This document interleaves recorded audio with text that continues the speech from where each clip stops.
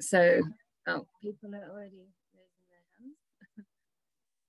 I think we'll have to begin because we started the recording now. So, today's chapter is on loving kindness and compassion.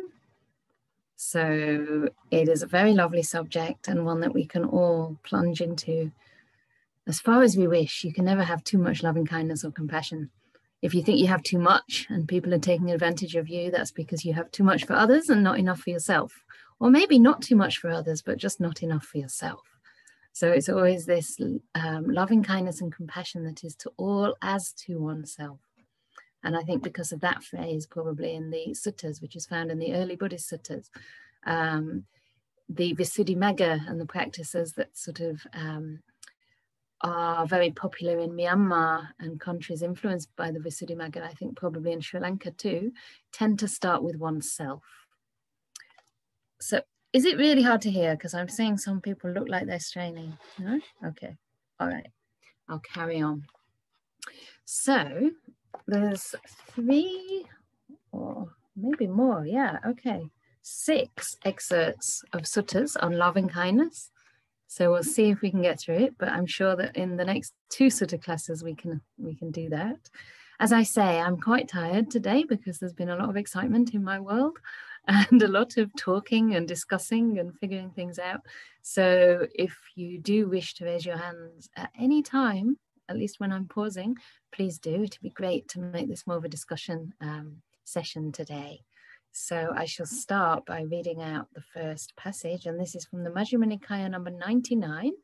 And I didn't check the name of that sutta, uh, but you can check it out later if you wish to read the whole thing. So this is called the Four Divine Abodes.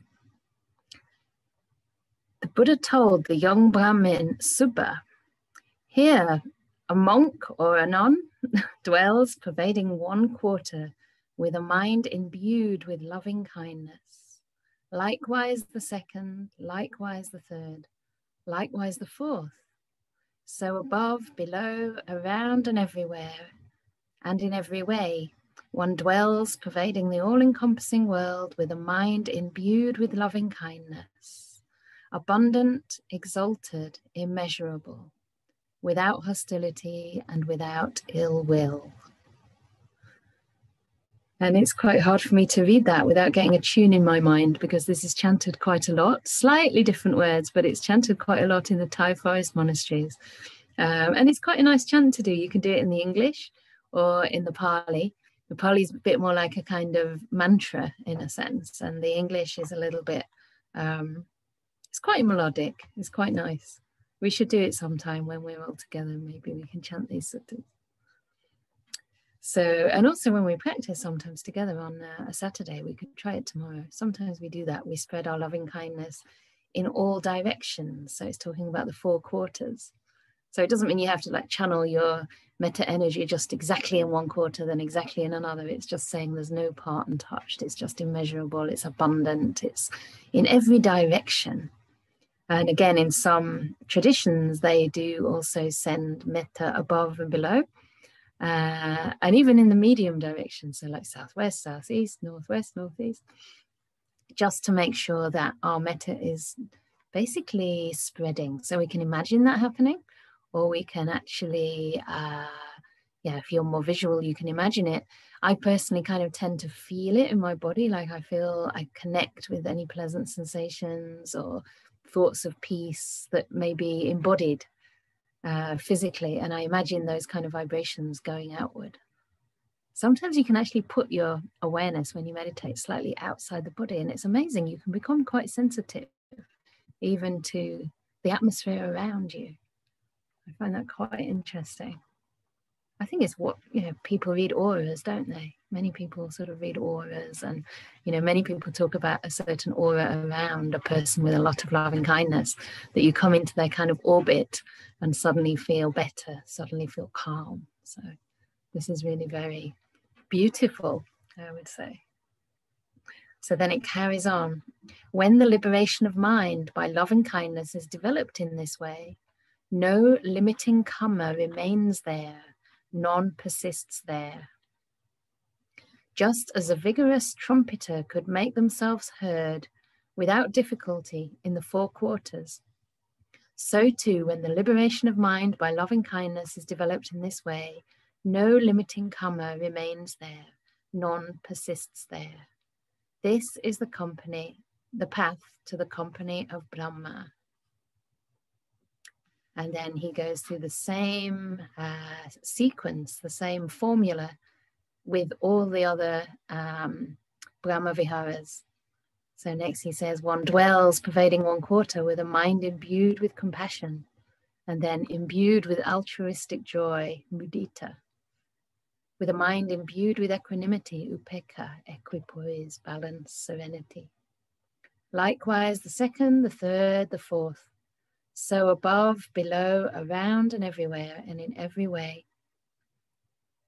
He dwells pervading the all encompassing world with a mind imbued with equanimity. That's the last one we're talking about.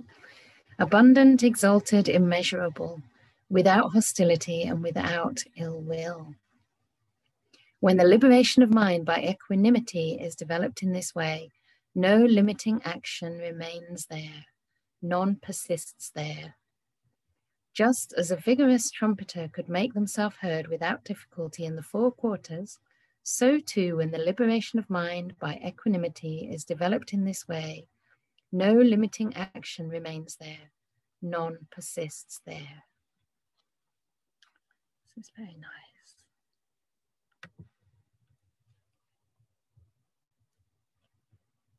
So, any comments already? I can see Rob has his hand up. Unmute, Rob.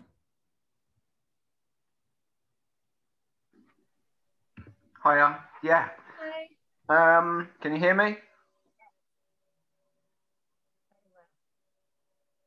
Okay. I think that's a yes. You've gone quiet again. Yes, we can hear you. Okay, good. Um, so this section, when it talks about equanimity in the same way as all the other Brahma Viharas, um, I don't often hear about equanimity being taught as an emotion but I do hear it being taught with regards to compassion and loving kindness and um, altruistic joy. They're taught almost as emotions, but equanimity is kind of, I think it's difficult to teach that as an emotion. It's not really been talked about much in that way. What do you think about that? I think that's quite a deep question, and I think equanimity is um, a very exalted state of mind, especially as a Brahma Vihara um, there's different kinds of equanimity depending on the kind of practice you're doing. So the kind of equanimity I used to practice was more towards the arising and passing of Vedana, pleasant, unpleasant, or neutral um, feelings, and they could be physical or mental. And there was a sense of um, equipoise and balance. And I, I think equanimity was a good word for the way that the mind would remain very, very steady with all of that um, and quite non reactive with all of that. But the kind of equanimity that the Buddha is talking about here is as one of the immeasurables. And it says here, when the liberation of mind by these four Brahma Viharas is developed. So whenever it says liberation of mind, it usually refers to the jhana states. So we can assume these are samadhi states. And I would say, from my brief experience with practicing um, equanimity in that way, um, some experience, let's say, because I can't say necessarily how deep that was, but um, it it is a kind of emotion. I would say it's an emotion of peace. And I've heard Ajahn Brahm say before that um, peace is an emotion. It's not a nothing. It's not a kind of deadness or a deadening. It's actually something quite refined, so we might not notice it straight away. And I think this kind of equanimity in the Brahma Viharas is extremely refined um, but it does have a quality of peace. It's not a nothing. And it's also, of course, tied in with the absence of hostility and ill will, right? So it does have an ethical aspect to it because it arises, all these Brahma arise and get deeply established when there's an absence of hostility and ill will. So that suggests that they are on the side of something sublime, something um, beautiful, rather than just being a blank kind of indifferent state of mind. So I think it's subtle, but I would say it's a, a kind of emotion, but it's not an emotion that's um, that's vacillating. It's a steadiness, it's a serenity, a kind of evenness of mind. Um, it doesn't feel charged as some emotions may. But then I think even with compassion and loving kindness and sympathetic joy, bit by bit they start to settle. You know, at first it might be a little bit exciting to get a lot of piti, for example, in the mind. But when it reaches the stage of like deep uh, practice, you know, metta as a Brahmavihara, metta as a jhana, as a jhana, as one of the jhanas, um, then it would be extremely steady, extremely calm, but just imbued with that warmth of metta that's quite unmistakable. I hope that helps a little bit. But I think these things have to be tasted and experienced time and time again. Yeah, great question. I'll ask Maxwell to unmute.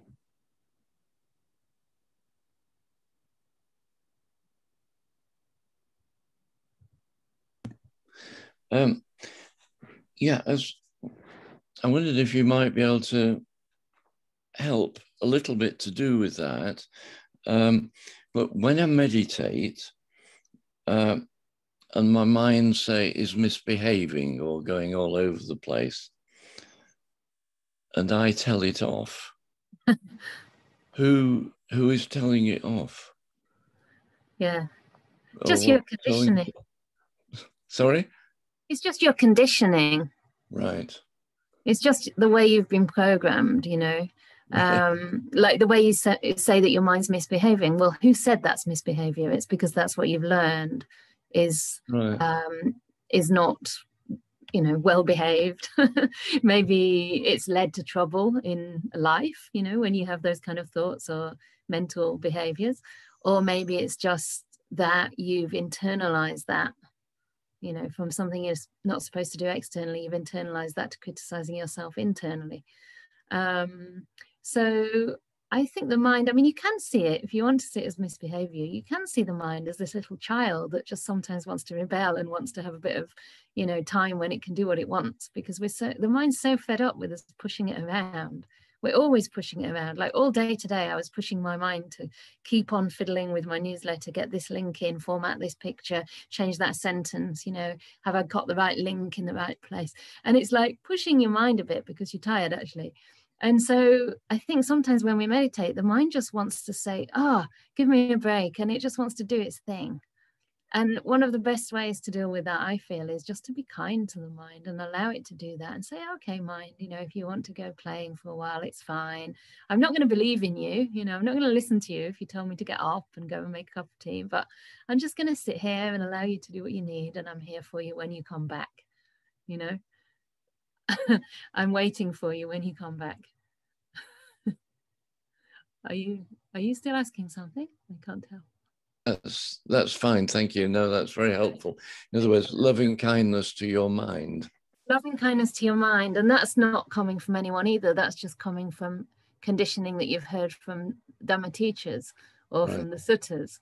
So right. none of it's coming from anyone. It's just like we're on a certain program and unfortunately some of us have had fairly negative programs and it's like got stuck in the kind of i don't know i'm not good with computers so i can't say i know it but maybe it's in the kind of what do you call it the back end of the computer or something yes yes um, and bit by bit we have to sort of gently change that program so every time that you go on a different program a more positive and more um, beneficial program try to really notice it and say to your mind, see mind, you know, this is great. You know, you've done really well there. You see it was much happier when you were more gentle, when you when I was more kind with you. You you sort yeah. of acknowledge that rather than just focusing on the times it so-called misbehaves. Yeah, thank you. Poor mind. I think Nikki has a hand up. Real hand. mute. What? Yeah. yeah. Ha, lovely. Hiya. I wanted to ask you about this. I often wonder about this. And when you were talking, um, I think with Rob about equanimity, would that look, and I kind of understand it intellectually, but how would that look on a practical day to day? So, does it look a little bit like, or feel a little bit like tough love. Um, in a sense of, if I think about, I'm thinking about my children, that, that having to put a boundary up that feels really uncomfortable, um, but have that steady, what you were talking about, that steady state of, uh, it's the it's the right thing to do is that right? Am I making sense here? Yeah, totally. It's an interesting angle because I wouldn't have thought of it in that way. But in a sense, it could be seen that way um, because in order to do that, like you say, it's quite unpleasant. But you have to stay steady with your reasoning behind it, and you know, kind of trusting yourself, and just sometimes weather the um, the kind of what do you call it, the comeback that you might get. You know, um, so that would involve probably some equanimity um, whenever things outside are difficult and people are irritating us or triggering us in some way, it's usually because the equanimity is not very strong. So if we can develop a sense of um, equanimity that understands, in a sense, that we're all just playing out, living out our karma, and we can try and help other people, we can try and do the right thing, but ultimately we can't really make it better for other people um, that's another way to kind of understand equanimity that we do our best but we may be wrong it might not work. Um, so we come from a place of loving kindness compassion and everything else and then accept that you know it may not always please others really. Um, so yeah it's kind of being able to step back i think a little bit and not get too involved not get too pulled around by the kind of ups and downs in life the four worldly winds praise blame uh, fame disrepute pleasure and pain and all these other things. Yeah. It's uh, what are the other two actually? I might as well finish the eight. Pleasure pain fame and disrepute gain and loss gain and loss. Yeah. So it's the kind of equanimity it's it's i like the simile of climbing up a hill and seeing from above getting a perspective on things um, seeing where you can help, where you can intervene, and where you just have to say, okay, I've done my best. Now I have to just let go a little bit. Yeah. For me, equanimity, the way it manifested in life, I guess, through my practice, especially in in um, India, when I was very much connected with every single sensation in my body, sort of things that I wouldn't even really be in contact with now because that's not my main focus um, it was really interesting because before you actually get angry or react in a negative way or say something negative, you would feel a kind of sensation, you know, of kind of maybe contraction or a bit of fear or a bit of energy coming up in the body. And you'd feel it coming and just stay cool with it. Okay, realizing it's coming and it's going all the time, it's arising and passing. And because you could see that it was arising and passing, there was almost no place for to get stuck on that. It was changing so quickly, there was no meaning in reacting, and the reaction would just dissipate. It sometimes wouldn't even come up at all. So that's also a kind of equanimity. Being able to hold it all and stay steady. Yeah.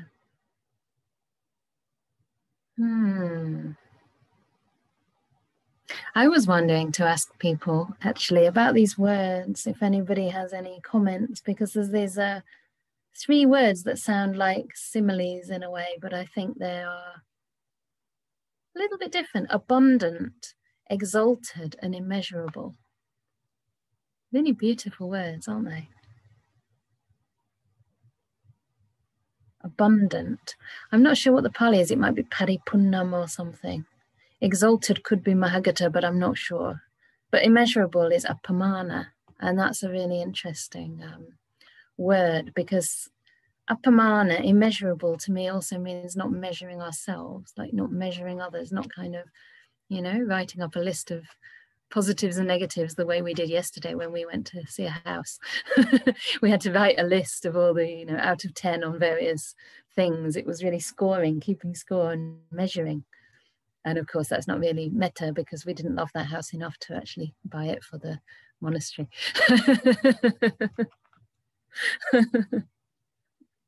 that's just a joke but yes uh, so what do you think? Abundant, exalted, and immeasurable. Has anyone got comments on that? What that means to, to you?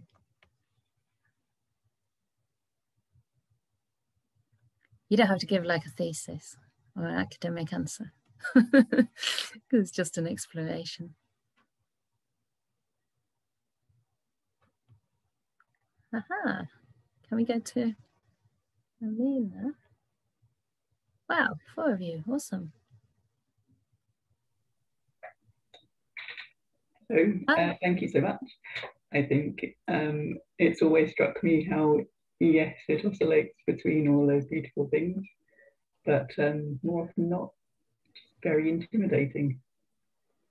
I mean, there's quite a tall order, which is yeah. also why it's so beautiful as well, but um, quite intimidating. That's very true. Yeah, yeah, absolutely. I guess again, this is talking about metta when it's been developed to an extremely high level, and it's more perhaps a description of what the flavor of real love and kindness is rather than something that we can necessarily experience in full. Um, but I think they're qualities that we can start to work with.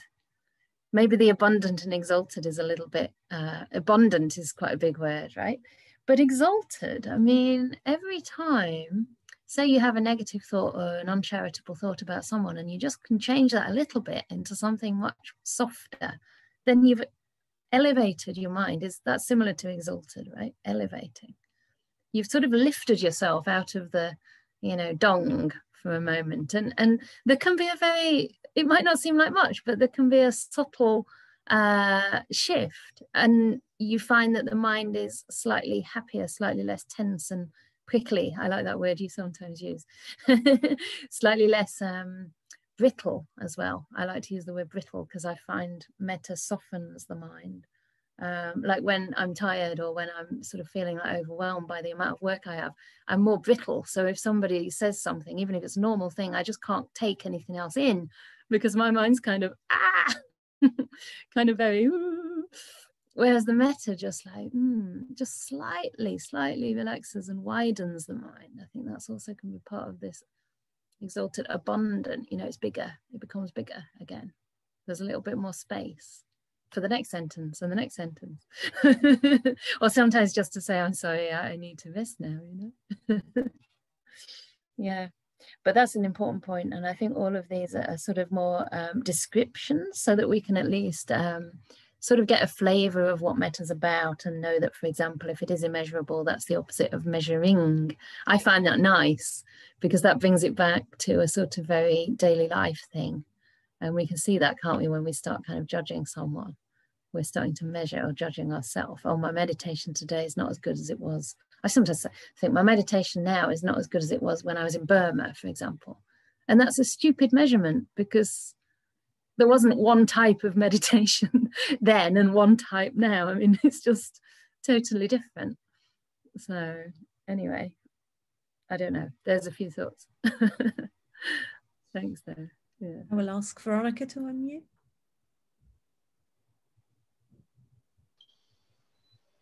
Can you hear me? Yes. Um, I mean, something terribly simple. Those, whenever I've read those words, I, it just gives me a sense of vastness. This, I sub, can substitute the word vast for a gentle vastness, not an intimidatory one. Just awesome, I suppose, as well.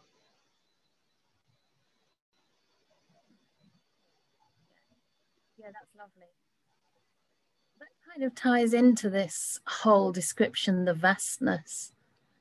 You know, that there's no limiting karma, there's nothing remaining there. It's sort of so big that it can really contain everything. Yeah, it's very nice. I mean, I personally find just reading these words kind of uplifts the heart. Even if it's not something I experience all the time, it's um, you know, I can get tastes of it. Um, but yeah, it's just something wonderful. I think of it also as widening the circle of what we're able to accept or who we're able to accept. Um, yeah, experiences that we're able to accept. Yeah, vastness. And the other one you said was awesome. No, or, or inspiring. Awesome. Sorry, you're muted again. Awesome. I yeah. said awesome. Yes, all in. Uh, yes, spaciousness, all embracing, but not intimidatory. Just right.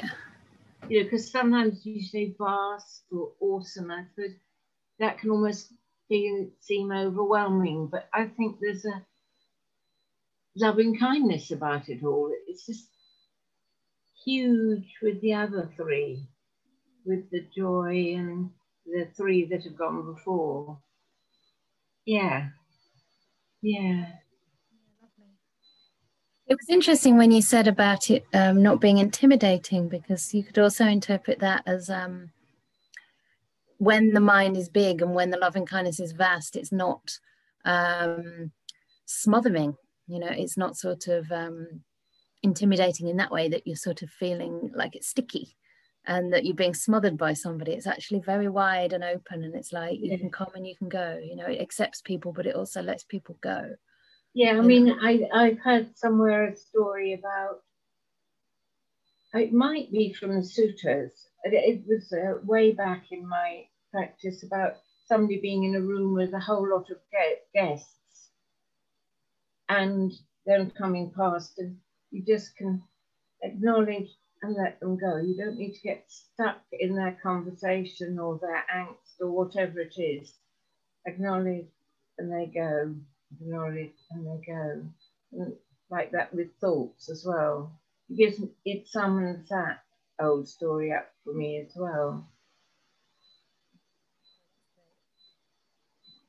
Ajahn Brahm always says he can um, take a lot of sort of stuff from people, you know, because obviously in a monastic role, even in my role, you you get a lot, but most of us kind of keep it, so we get overwhelmed, you know. And he says he's like a dustbin with no bottom, so it comes in but it also goes out yeah and the same thing for difficult people. You can let them in but you can also let them go.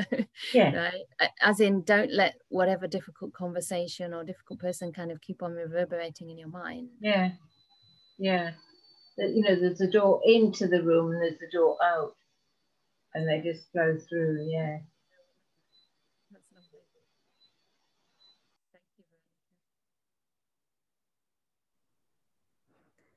Uh, shall we go to Paul, who's had his real hand up?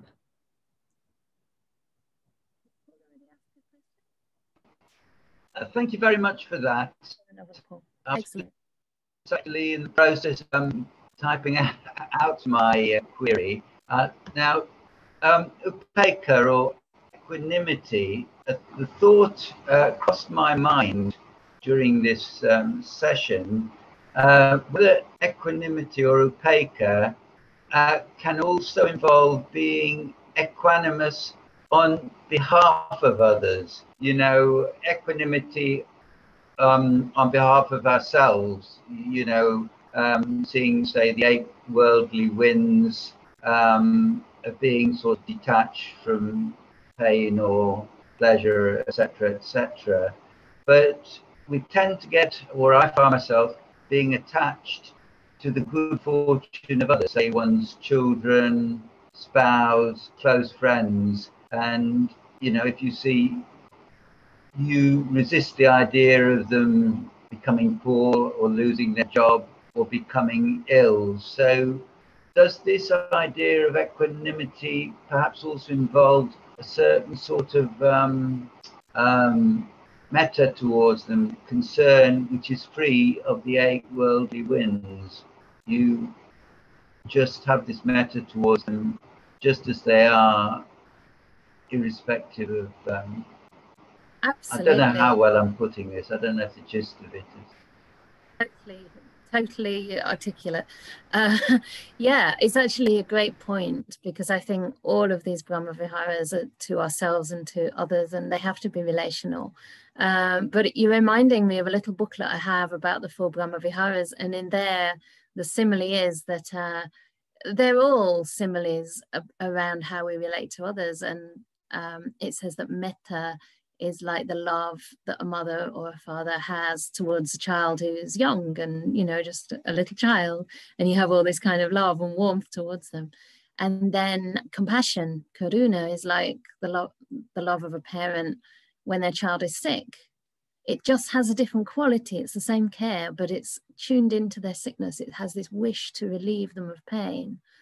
And then the mudita is like the emotion that one feels when the children start to grow up and they may be um, becoming successful they're doing well at school and or at college and maybe they're you know you're seeing them kind of flourish you're seeing them grow. So you have this feeling of mudita like you're happy for them right? You're also happy for yourself that you've brought them up quite well.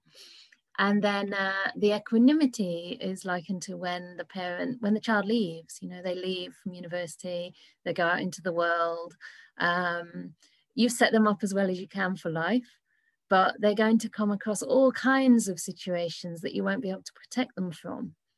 And it's the kind of equanimity that lets them go and understands that, yes, you'll always be there for them, but you can't protect them from the lessons that life has and that the things, the struggles, the difficulties, as well as the joys that they'll come across in their journey. So that's a kind of equanimity. And I think that's quite hard, isn't it, for parents, you know, with grown up um, teenagers or early 20 year olds uh, to see them just going, you know, and leaving home. And there has to be a kind of equanimity there because, yeah, you can't expect them to call you every night or know exactly where they're at. My mom had a bit of a shock when I just left, you know, at 18. Firstly, I went to Israel and I did trips to Egypt and things like that. And, you know, some dodgy situations trying to walk across Cairo in I don't know, five in the morning, and there was all these kind of um, what do you call those dogs, like street dogs, really dangerous, barking like anything. I was terrified, and you had to do that to get to this local bus to take you back to Israel. and my mother, if she knew a lot of my adventures, that was just rather moderate. But uh, oh, I don't know if she could have been equanimous at all, but I think she must have developed quite a lot of equanimity by just realizing I have to let her go. I have to let her go into the world and just trust and hope that everything will be fine. And if I'm here, if she needs me, I'm here. You know, if she wants to come back, I'll, and she did always help me come back. My parents would buy me a ticket home, but when I went, they would I would be on my own. I wouldn't get any sort of financial or support from them. Often couldn't get to a phone. So yeah, I don't know if that really answers the question, but I guess that's something that I uh, relate to in that way, at least. Is that okay? Shall we go to Darren? Was I think Diana may be first. I'm not sure if Diana wants to go first. Or I go now. Okay. Um, you go, Darren. I'll go next. Okay, thanks, Diana. Um, it's just really amazing, just reflecting on that uh, abundant, exalted, and immeasurable. And um, for me, it, it, took me back to um, Ajahn Brahmali and the death contemplation meditation. And when I first went through that, um, I could never imagine myself doing that. But it was the the boundless, unconditional um, love and kindness um, of just giving without any expectation of anything in return. It's just have the shirt off my back, have the last grain of rice. Um, and it is just having that joy and that freedom um, of just seeing the other person um, benefit from that. And when when Ajahn Brahmali was when he was um, taking taking us through the meditation, um, and it was all about if I had three hours or five minutes left to live, how would I be treating people? And those three words really encapsulate that. But in the meditation, I sort of flipped it around as well. And when I'm talking to people, and I don't do this all the time, well, not many times, but if I try to, that if I imagine that they've got three hours left to live, they've got five minutes left to live, how am I going to be with them? And there would be no um, caveats. There might be there'd be no clauses or anything at all. It would just be complete unconditional um, love, equ um, equanimity, whatever it is. It's just I don't want anything in return. I just want you to be happy, um, and it's with without wanting, or not even without wanting, but without um, thinking about wanting something in return of that thought process just it's just um, an infinite um, lifetime away um, of any expectations of anything in return. Um, and I think it then combining that with what you then explained about walking up the hills and and I just then pictured myself that I'm in this forest in this valley and it's all dark and I'm in a, I'm in this bog and then I then get through this to the top of the mountain and then I look down at the amazing forest and I look down at the view and I'm looking looking around at the vista and it's just it's all these things combined. I'm probably waffling a little bit now, but it was it's more I think what Ajahn was saying, and then that limitless and boundless and unconditional um, not not thinking about wanting anything in return. Um, thank you. Beautiful, thank you. Yes, that really highlights the unconditional aspect And I love that reflection. I'm going to try that myself. I have only done the death reflection thinking that I may have just a few hours left, but that's very powerful to recognize that it may be the case for others. And it is the case for others, you know, that they may only have three hours left, and one day they will only have three hours left. And uh, it just reminds me of something Ajahn Chah once said about the glass with the crack in it, you know, that we don't see the crack, but it's there. And if it was made of plastic or something, it wouldn't break. But because it's made of glass, we have to care. And I think that's very tied into what you were just saying. It's such a beautiful reflection. It's incredible how, I guess, the death meditation and the climbing to the top of the hill are similar in that they both give a lot of perspective. They give an immediate perspective on all our little kind of niggles and complaints, you know. And from the top of that hill, you look down and you see the gorse bushes, you see the kind of thistles, you see the beautiful trees, the rivers, the lakes, and you can be grateful for the whole lot because that's what got you to the top of that hill. You came through all of that and you learnt along the way. You can be grateful even for the, you know, the unfortunate things that happened to you if you learn to reflect wisely. Yeah, beautiful. Thank you. It's quite moving to hear that your sincerity also in how you were practicing that way. It's beautiful. Yeah. I will ask Diana to unmute. Hi. I'm sorry I can't open my video, but I'm here. Okay. You are there. I'm i can see your hand. my hand is up. um, I'm noticing in this uh, little sutta excerpt the phrase the liberation of mind by loving kindness and the liberation of mind by equanimity, which sounds like if you have that degree of all encompassing, total, no holding back equanimity or loving kindness, and I, I bet it does the other two as well in the full sutta, um, that in itself liberates the mind. Is that your understanding? Oh, in this context, my understanding is liberation of mind means uh, liberation from the five hindrances, liberation from the five senses, liberation in terms of samadhi, because I think the word will be vimutti, and that's usually, or vimokkha, and they're usually terms that relate to the jhanas, not to full liberation. So normally the way they translate liberation, or the word liberation, when they use that word, it's um, it's not enlightenment. Mm-hmm. Um, it's liberation into the state into the jhana realms if you like. That's how i understand it.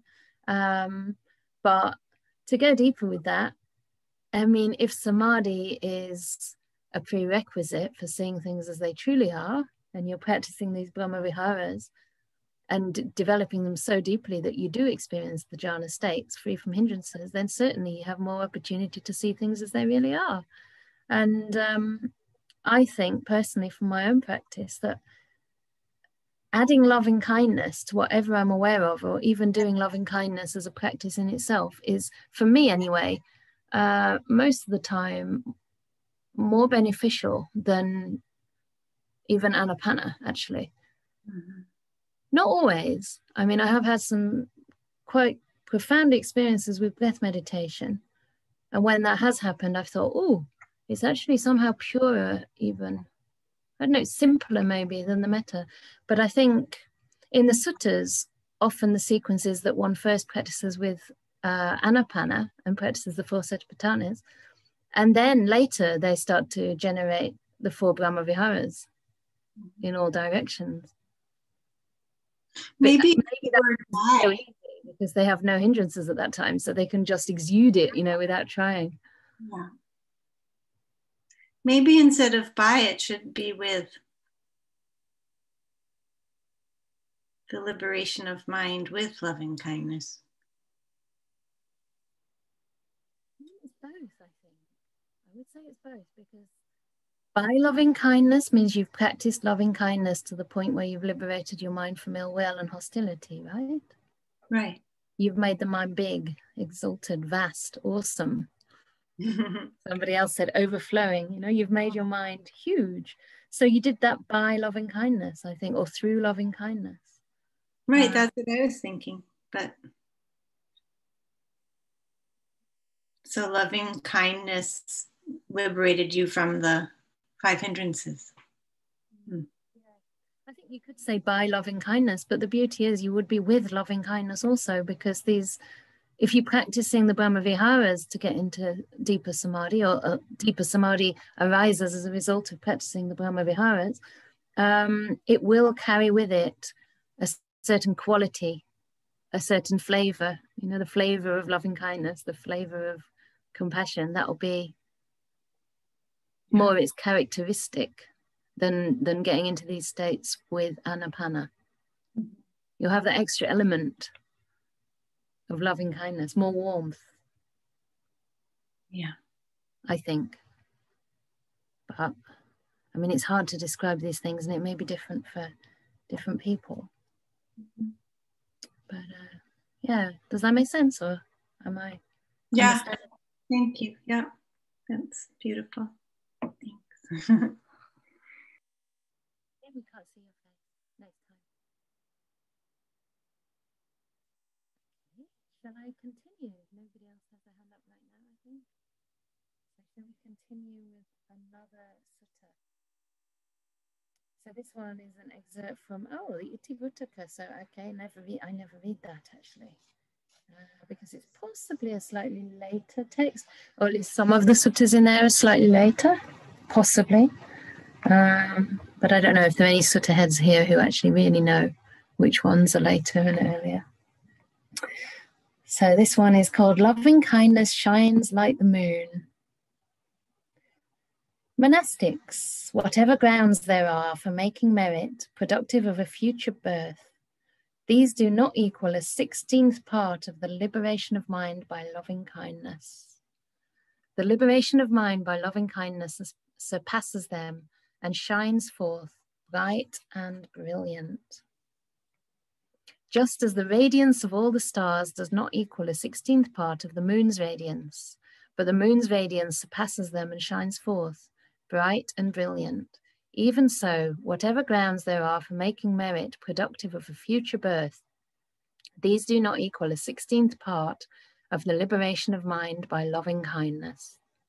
The liberation of mind by loving kindness surpasses them and shines forth bright and brilliant. Just as in the last month of the rainy season in the autumn, when the sky is clear and free of clouds, the sun on ascending dispels the darkness of space and shines forth bright and brilliant. Even so, whatever grounds there are for making merit productive of a future birth, these do not equal a sixteenth part of the liberation of mind by loving kindness. The liberation of mind by loving kindness surpasses them and shines forth bright and brilliant. And just as in the night at the moment of dawn, the morning star shines forth bright and brilliant, even so, whatever grounds there are for making merit productive of a future birth, these do not equal a sixteenth part of the liberation of mind by loving kindness. The liberation of mind by loving kindness surpasses them and shines forth bright and brilliant. Hmm. It's quite poetic, isn't it?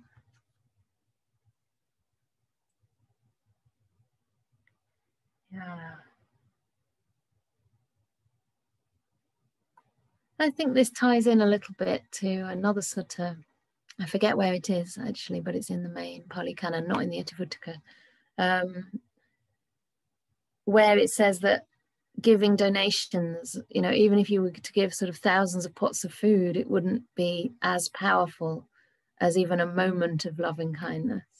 And that probably does mean, you know, quite deep loving kindness, I would imagine. Um, and I always wondered, you know, how is that the case? But I think it is because we're cutting off these defilements at the root level, like we're really overcoming ill will and hostility. And so, if we work at the root level of the mind, purifying the mind at that depth, then we're more likely to perform. We will still perform acts of generosity, right? So called making merit. Keep be very generous, but it will be quite unconditional.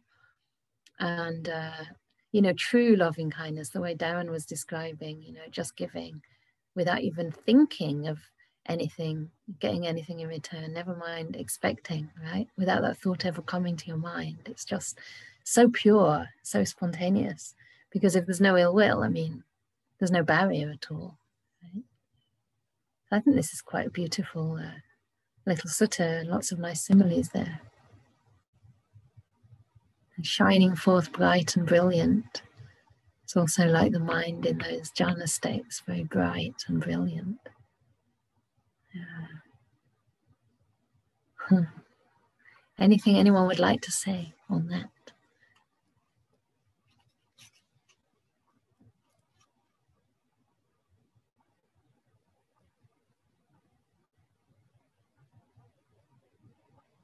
Shall I read the next one? So this one is the benefits of loving kindness. Maybe we can have some discussion around this. So these are the classic 11 benefits of loving kindness. Monastics or community, let's say, when the liberation of mind by loving kindness has been pursued, developed, and cultivated, made a vehicle and basis, been carried out, consolidated, and properly undertaken, 11 benefits are to be expected. What 11? One sleeps well, one awakens happily. One does not have bad dreams. So it's quite interesting that the first three are around the quality of our sleep. That's the first benefit you can get, you know, because you're able to deeply relax and let go. I also think it's to do with not having remorse, you know, not going to bed at night with a guilty conscience or regrets, unfinished business and I often teach on retreats, you know, that it's it's quite a good practice to get into, a good habit to just even before your head hits the pillow, but definitely when your head hits the pillow, to just do some moments of metta, of loving kindness, really, you know, towards yourself, but also to others, just really wishing them well. And sometimes, of course, you're quite sleepy, so that might actually be your last thought before you sleep. And it really programs the mind in a beautiful way one awakens happily. Well, if not, you do a bit more. do it on awakening as well. And uh, one does not have bad dreams. That's interesting. I maybe don't have enough because if my life is a little bit insecure, I sometimes have dreams. I sometimes have funny dreams where Ajahn Brahm's come over, but I don't know he's here. And then he's being, I don't know, he's going to some centers where only the monks can go. These are my kind of non's nightmares. And i'm excluded you know. Or one time he like tried to climb through a roof and he went up up up into the light you know. And before that we were hanging around together having a nice time and he went up and i couldn't get up and i had three dhamma sisters there trying to pull me up and they got my arms up you know my upper body but i couldn't get through i couldn't get through so i told Ajahn Brahm the next day because it was really it really upset me actually it was like oh, i can't get there so I told him the next time I spoke to him, and he said, "You just use a ladder. You know, you're allowed there. You're allowed up there." anyway, non's nightmares. Obviously, it's quite symbolic, right? Going to into the light, into nibbana, maybe. but anyway, they're my kind of bad dreams. So here it's saying we don't have bad dreams. And I guess again, you know, you're sort of contented, right? Contented, quite at ease in life. You're healthy too, right? Loving kindness has health benefits. So Rob has his hand up. I wonder if you want to comment on, on any of this part so far. Yeah, it was actually, um, I was just reading back again on the Four Divine Abodes, actually. Just one quickly, one quick thing about that. With regards to the word immeasurable, if you look when it says, um, when the liberation of mind by equanimity is developed in this way, no limiting action remains there. It also says no limiting karma remains there for loving kindness. So I assume what what they're saying there is that there's no limiting um, there's no limiting karma that's going to limit your goodness in, in a way. It's immeasurable because you're not limiting your goodness. Yeah, that's one way to interpret it. It's interesting. I think you're pointing out, right, that the vocabulary is different. They actually say something different for the equanimity. Is that right? They don't say karma, do they? No. They say limiting action, what the Buddha says. Okay, that's really interesting. No limiting action. I mean, often karma is translated anyway as action. Um, so it may be the same thing. But the way I understand that, and this was another sutta I was looking for to um, to interpret this passage, is that the mind is so full, if you like, yeah, like you say, of goodness, like it's vast, it's abundant, it's exalted, that the hindrances can't come in. So at that moment, you can't create bad karma. And any bad karma that arises just dissipates because the power of that loving kindness overwhelms any kind of uh, residual effects of something you may have done in the past. And there's this lovely sutta called the lump of salt, which I've probably talked about many times in these groups, but it might be worth um, reading that a little bit because this talks about um, how karma is experienced differently depending on the state of your mind. And I mean, I know for myself that if, uh, you know, my mind is smaller, more brittle or more prickly, if you like, um, it can't contain so much. It can't really, um, you know, if I remember somebody that's irritated me, I might again feel irritated. Whereas if my mind is big and vast and, you know, developed through loving kindness, I'll be just, oh, they're really sweet. You know, they just didn't really mean anything. They've got all these good qualities. So if I even think of this person, it's just absolutely nothing happens. And if anything, you just feel more metta they just join in the party.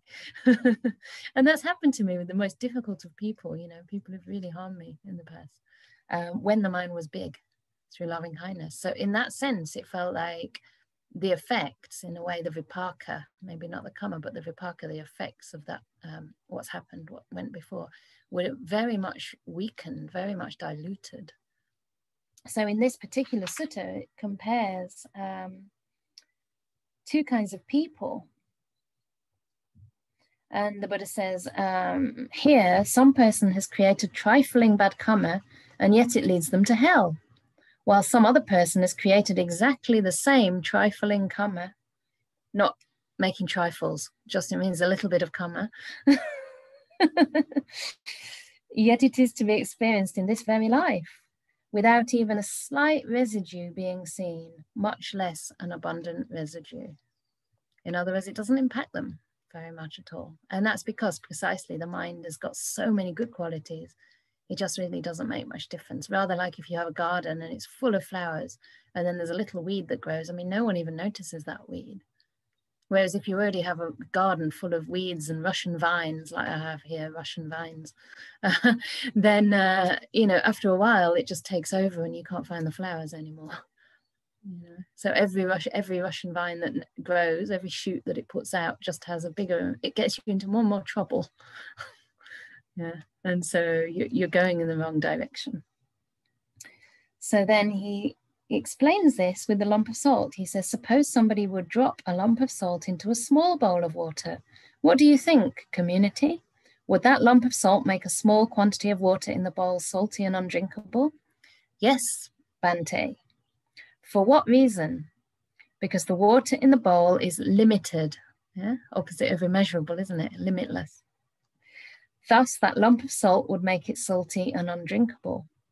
But suppose a person would drop a lump of salt into the river Ganges. What do you think? Would that lump of salt make the river Ganges become salty and undrinkable? No, Bhante. For what reason? Because the river Ganges contains a large volume of water, and thus that lump of salt would not make it salty and undrinkable. So this is how we can transcend, if you like, or dilute, if you like, our karma. It's not that we have to experience everything we ever did before exactly the way we did it. You know, it's not like you do one thing, you get one thing back. You do 10 things, you get 10 things back. It's uh, it, it's different to that. It depends on the, the mind that the results arise in now. So if this is the reason that we focus on the three motivations, because if you have a mind which has an attitude or way of relating that is loving, that is warm, that is accepting, embracing, even when difficult stuff comes in, it actually doesn't impact the mind nearly so much as when you just leave the awareness bare, or so to speak, or if you're distracted and even already agitated, it has a huge impact, right? But if we learn to like relate to things kindly in a peaceful, compassionate, loving way, then our mind is big enough to be able to hold even fairly severe grief or distress.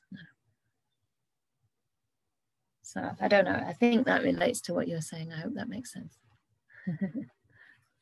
but I find this a really fascinating aspect of, of metta practice. I do think it's a wisdom practice in that sense because we start to see that the way we regard the world, others, ourselves really does depend on our state of mind at the time. We really do create our world, you know, um, and depending on our mind, the world looks one way or another. It's not the world itself that has an inherent quality to it. It's not another person themselves that's inherently good or bad, agreeable or disagreeable. It's largely the way we create that in our mind. Yay, we can see Diana on video now. So you have to find another question. Hi. so I'll go back to the 11 benefits so we had one sleeps well, awakens happily, and does not have bad dreams. So the first three.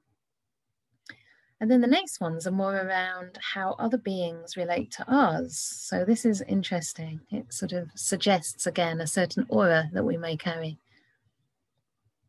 One is pleasing to human beings.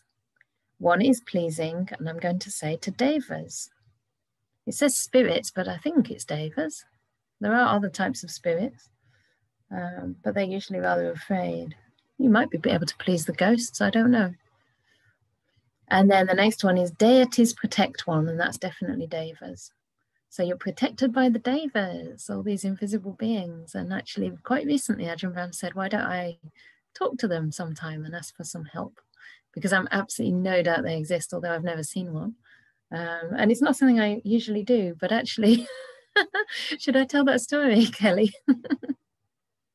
because we were going into Stroud the other day. I didn't put this in the newsletter. People think I've gone crazy. So instead, I say it publicly on a recorded video. Okay. Anyway. so we were coming into Stroud, which is a place that I have a feeling for, for the property, for the monastery in the long run.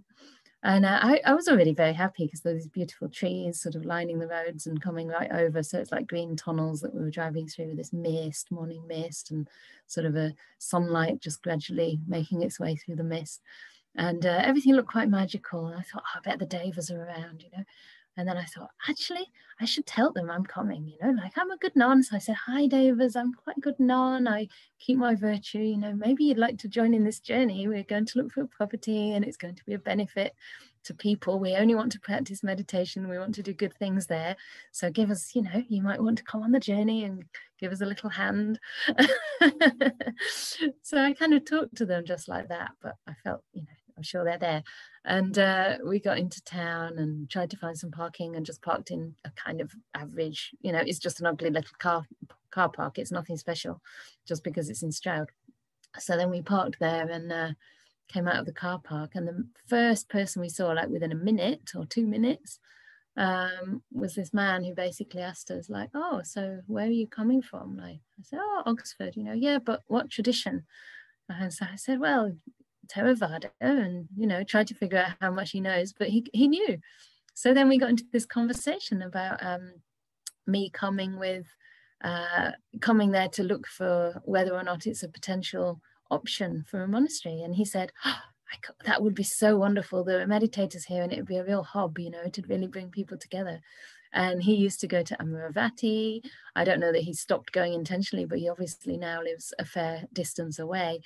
And uh, he said, My house is just here, just come in for a cup of tea. So we had a cup of tea and got to know about his family and even his daughter. Her middle name was Chanda, but Chandra, so the Sanskrit version but anyway, my name. and he knew people in the town that could help us if we ever wanted to organize a retreat. And I haven't heard from him yet, but I've got his contacts. And he said next time we come, if there's no parking, we can park at his house and just come by any time. So it was really incredible because that just doesn't happen that people stop me and say, it'd be great if you came to start a monastery in this town, you know. This doesn't happen. This has never happened. So whether that was the Devas or whatever other good karma might be behind me, I don't know, but uh, it became quite an interesting day. yeah, so somebody's asked, shouldn't we say Devi? I'm not sure. I think Deva, Devi, maybe. Uh, Deva might be male, but I think it might be gender neutral. I'm not sure. Devi, maybe? Maybe it should be Devi. Okay, Devi then. Devi and Deva. There we go. But don't say diva because hopefully they're not divas. okay. So, all right, yes. So one is pleasing to human beings, pleasing to spirits, and Devis and Devas protect one. Isn't that nice? So you have to have, I don't know, not too much loving kindness. I'm sure if they protect me, they protect all of you for sure. But the, the idea is also not to do that often you know this is really important because otherwise and also be very careful about your motivation because if you want to ask them for all sorts of worldly things that's not really what they're there for you know. They like to get on board with beautiful things dharma projects things that create happiness in this world. They're very good beings on the whole. Of course there's mara that's further up in that deva realm and he became the kind of control chief control freak in chief of the uh, Deva realms. so they want to kind of control, they want to keep you in this world. They want to keep you in this world. So when you look like you want to get towards jhanas, the, the Mara who doesn't like that, and they try and say, I'm not ready for this. This is too much bliss. Oh, what's happening next? I should know. I should be involved. And that's Mara, right? Trying to keep you in this world. Because if you move out of this, then they won't be able to control you anymore. They won't know where you've gone. So anyway, whether you believe these things or not, but I think it's important to actually um, sometimes talk about them. It is very much part of the Buddhist uh, tradition. It's written about in the suttas, and I know some secular Buddhism has been criticized for being rather racist because they do remove anything that looks like it may come from Indian cultural um, understanding, and often it's just the Dhamma, right? So I think it's good to teach it all in full and we don't have to decide whether there are such beings or not. But sometimes you feel it, right? I remember doing a metta retreat in uh, Italy. And this also was after this quite traumatic experience with somebody else. And um, I was practicing a lot of metta, like intensively for two weeks. I mean, it's basically only practicing metta, and it's the first time I'd done that. So it was really going well. And uh, at some point I just felt so kind of settled in myself, so um, not grounded, but just really, really well, really, really at ease. And I just knew in my heart that if that person would have tried to get to me and attack me, they wouldn't have had a chance. It's like there was a sort of force field. I, my whole energy was different. And I don't know if that's the Devas or it's the practice of metta, but it is almost like there's a force field around you. Like it's very hard to harm say an Ajahn Brahm? How could you harm? You can tease them. It's quite fun to do that. but you but you could never harm such gentle beings, you know? And the Devas know that too. Anyway, I'll stop talking about Devas unless there are any questions from anyone else because it might not be that much of interest. Yes, please do leave early if you need to, anybody. It's perfectly fine. Thank you for coming. Lovely to see you. So the next benefits fire, poison, and weapons do not injure one. That's a force field, isn't it? Fire, poison, and weapons do not injure one. Or is it something more practical? Is it more that you're not associating with the kind of people that might use poison and weapons?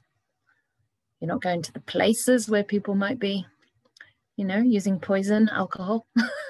poison, alcohol's poisonous, right? You're not going to, yeah, you're not associating with bad friends, right? You're staying at home doing your metta practice instead of going down the street late at night. but it's interesting, it could be both. I always do think there's an element of practicality here for sure. And, uh, you know, our behavior also determines the kind of experiences that we draw to us. There's a really lovely talk about metta by Ajahn Brahm. It's one of my favorites that he gave to the monks probably in 2001 or so. And he makes a sort of analogy at the end, you know, the fire of ill will, the poison of, I don't know what he calls that one, greed maybe, and the weapons of hate or something. And they're the real fires, poisons, and weapons huh? that can harm us our own ill will, our own hostility, our own anger, our own delusion. So that's the most dangerous one. And then number eight is very important. One's mind quickly becomes stilled. Here it says concentrated. So it becomes like that sort of superpower washing up liquid where it's concentrated and it's just, you know, really all a lot of stuff in one small cubic, what do you call it, fluid ounce. That's concentrated, right? But I think the mind of loving kindness is expansive. It's concentrated in the sense you're only on one thing, you're only consumed or suffused in one thing. But the mind is actually uh, vast. So it's probably maybe the English word concentrated that's a little bit off. But yes, it means one's mind quickly and sometimes it says easily attains samadhi. And again, that's because it's countering these hindrances of ill will. Mm, and ill will's the strongest, I think. Obviously related to greed, but you know, we have ill will towards what we can't get, isn't it? So ill will is very, oh gosh, it's nearly half past eight. Oh, okay. So ill will is very poisonous. So the last two or three, one's facial complexion is serene. That's nice. I can see lots of serene people here. We've all got a lot of loving kindness. One dies unconfused. So again, that's related more to, yes, to having good qualities, but also to having clarity. Hmm? You're dying unconfused. So your mind is clear. You understand the wholesome and the unwholesome. You understand what's to your benefit or to your detriment. You're unconfused perhaps about the Dhamma. Maybe you've gone beyond the practice of the Brahma Viharas and actually attained to stream entry. And then the last one, if one does not penetrate further, so perhaps the last one did, one fares on to the Brahma world. So you're bound to get a good rebirth, in other words, a happy rebirth, a place that you can dwell in a lot of loving kindness and be around all kinds of other beings who practice a lot of loving kindness. So it's a very happy existence when the liberation of mind by loving kindness has been repeatedly pursued, developed, and cultivated, made a vehicle and basis, carried out, consolidated, and properly undertaken, these 11 benefits are to be expected. So there we go. We should be getting some of these, not all of them, not all the time. But if you're genuinely, generally moving towards some of these and you can start seeing some of these in your life, nobody here has been shot recently, hopefully. or, yeah, taken too much, I don't know what is poisonous, then we're doing pretty well. And it's great to have these guidelines because it shows us quite easily whether we're on the right track. It's a bit like the uh, beautiful advice that the Buddha gave to Upali, the barber, Venerable Upali, that if it's the Dhamma, we know it's the Dhamma. If it leads to peace, if it leads to fading away, if it leads to nibbana, there were more in there too, but now I'm too tired to recollect the whole verse. So we have to know which way this is leading. And wonderful benefits, very worldly benefits in a sense, but I think, you know, the quality of one's sleep can really affect the quality of one's life, our waking hours as well. So try the loving kindness practice every evening and every morning, and I think you'll find significant change.